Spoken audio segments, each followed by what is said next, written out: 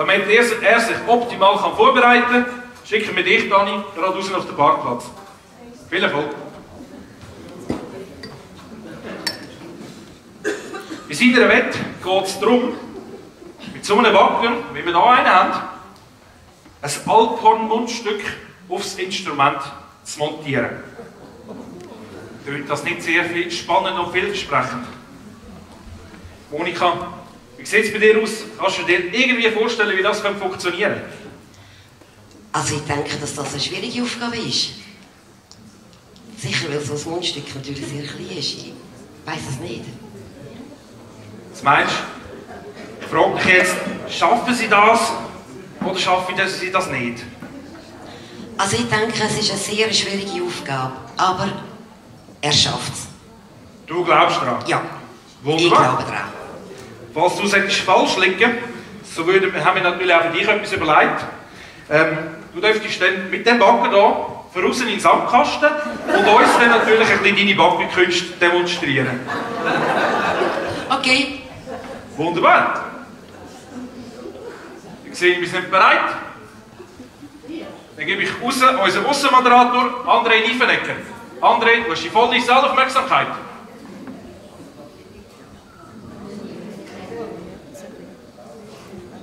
Die Verbindung steht noch nicht ganz.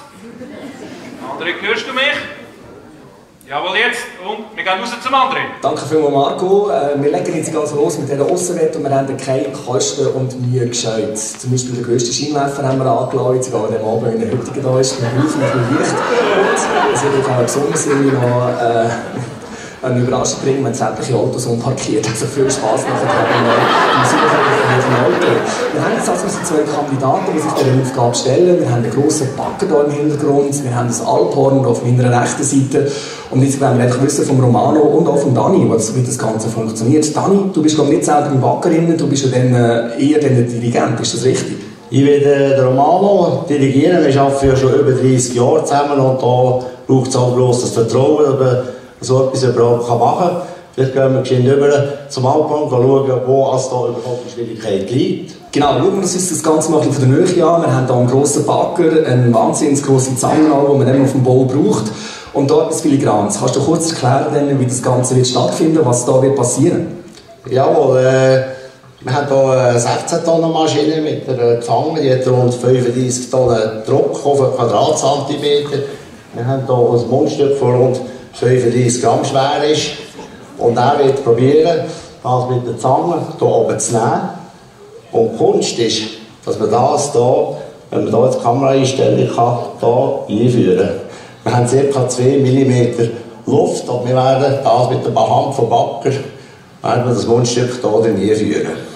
Eine grosse Aufgabe also, sehr filigran, sehr heikel, weil halt einfach ein grosses Gerät da im Einsatz ist, dann, um so eine, sag jetzt mal, ganz eine, äh, filigrane Arbeit zu machen. Romano, du bist im drin, wie manches Jahr arbeitest du schon auf so Gerät? 39 Jahre. 39 Jahre, grosse Erfahrung also. Und wir haben gerade vorhin von Dani gehört, 35 Tonnen kann die Zange vorne äh, zusammendrücken, an Gewicht, sage ich jetzt mal. Ähm, das ist noch recht schwierig, dass man da das Mundstück nicht gerade irgendwie zertrennt, oder? Ja, ich sehe auch nicht mehr so optimal. Das. Also das heisst, du bist auf die Party, die für Dani recht alt ist. Genau.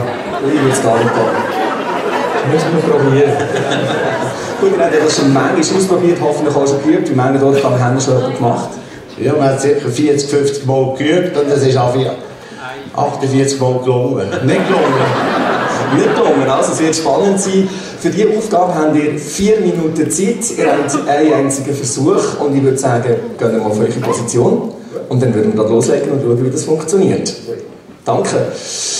Also, wir haben jetzt hier das grosse Gerät, wo jetzt der Romano drin geht, in die Kabine rein. Er wird das Ganze noch starten. Zur Sicherheit hat der Dani auch noch einen Helm an.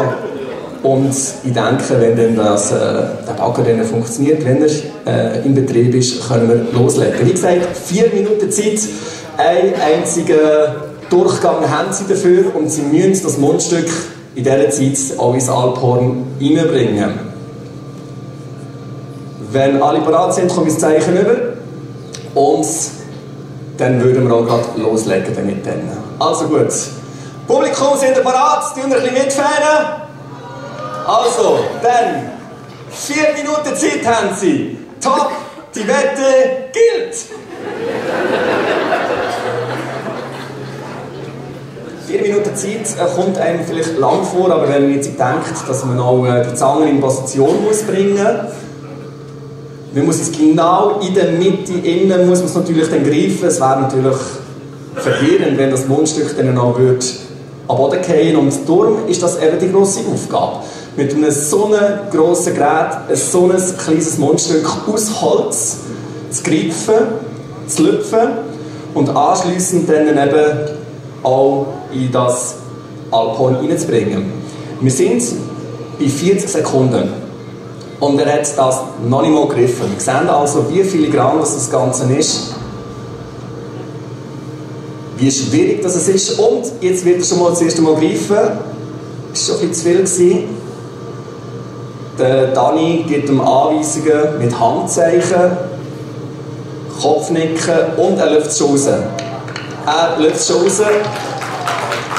Eine Minute ist vorbei, sie haben also noch ganze drei Minuten Zeit.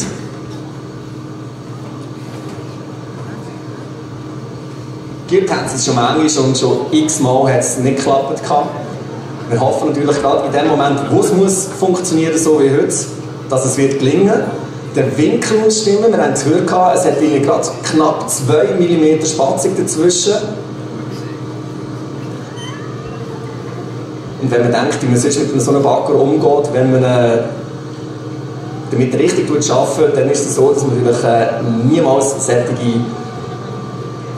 solche genauen Bewegungen muss machen muss. Jetzt aber langsam aber sicher geht es rein. Der Winkel stimmt noch nicht ganz, der Winkel stimmt noch nicht ganz. Aber trotzdem gibt er dann das Zeichen zum Trainierdrücken. Er drückt durch das, dass der Winkel nicht stimmt. Jetzt ist es aber geht.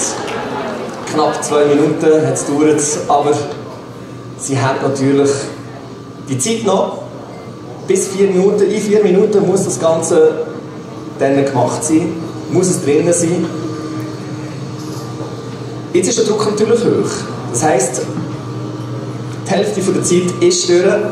Es wäre gegangen innerhalb von zwei Minuten. Jetzt haben sie quasi nur noch diesen Versuch. Und darum muss es jetzt klappen. Höchste Konzentration. Das Publikum schaut gebannt auf das Alphorn.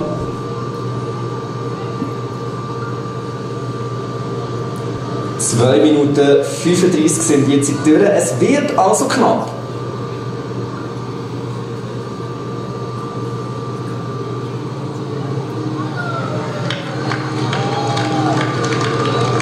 Sobald es dann mal gefasst ist, kann die Bewegung schneller gehen. Jetzt noch mit einem richtigen Winkel trainieren und das stimmt noch nicht.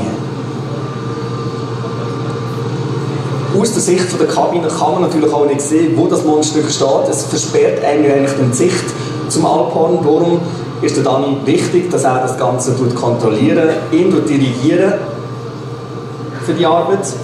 Und jetzt wird es knapp. 3 Minuten 15 haben wir jetzt noch 45 Sekunden.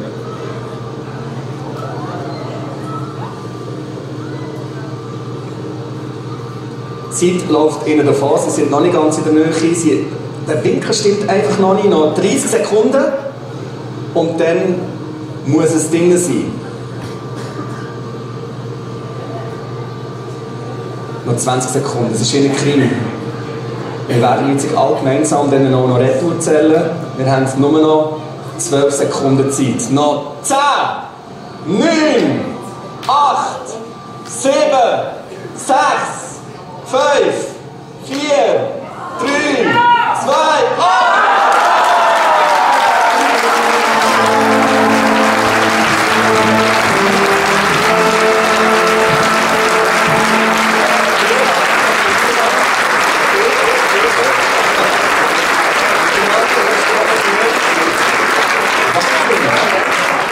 gratulieren.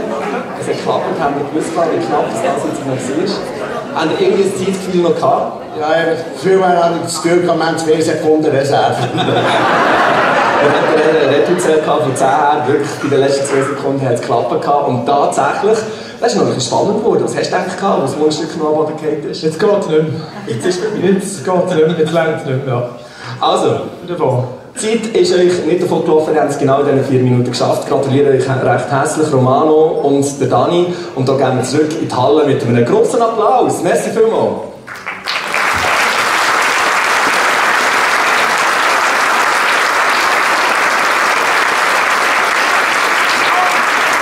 Danke André für deinen Einsatz. Das ist knapp geworden. Wie steht es um deine Nerven? Oh, jetzt habe ich doch ein bisschen zittert, muss ich sagen. Ja. Aber er hat es super gemacht. Damit äh, bist du leider um den Einsatz im Wacker äh, drumherum gekommen.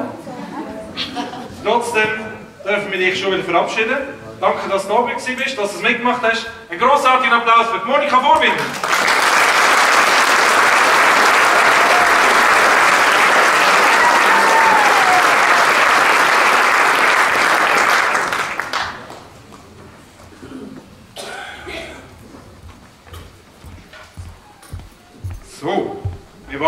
Der Dani Heiniger zurückkommt.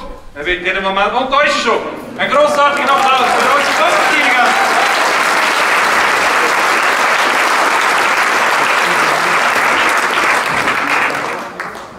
Für das nächste Stück wird das Durchschnittsalter hier auf der Bühne deutlich verjüngt.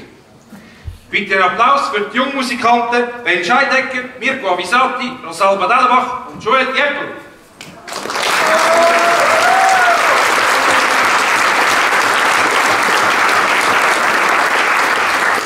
Vier können auf die Unterstützung von der Präsidentin von der Musikgesellschaft zählen. Sie ist Instrumentallehrerin von BEM. Sie alle werden mitwirken beim nächsten Stück mit dem Namen Take It Easy.